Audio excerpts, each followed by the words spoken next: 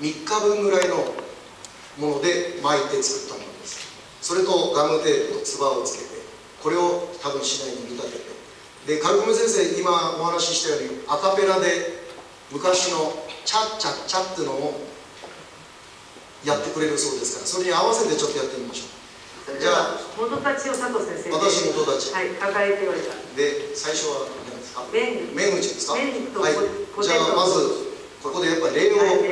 ですよね。目と目で。で手に取ります。さっ。はい。じゃあ遠間からちょっと入った方がいいですか？はい、はい、タンタタタタタタタタタ。これです。タンタタタタタタタ。どうです？はい。タンタタタタタタタタタ。切り返しますタンタタタタタタタということでありがとうございました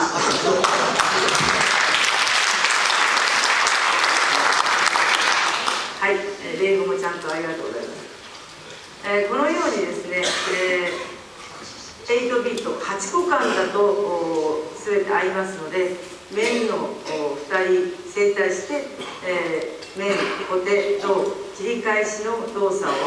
2人組で整体し、えー、行います。もう2時間目あたりからあこの動きはあできると思いますので、えー、こんな感じで今この写真は1年生の女子があのリズムに合わせて行いますあまりあの曲を使ってやったりすると邪道だっておっしゃる大先生もいらっしゃると思うんですけど本当に剣道が好きな子嫌いな子